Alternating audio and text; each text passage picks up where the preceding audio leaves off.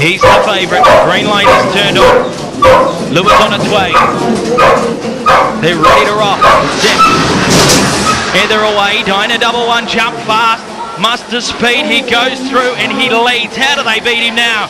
Dyna double one down to the judge. Leads by two on Moreira. Third is Cisco Rage.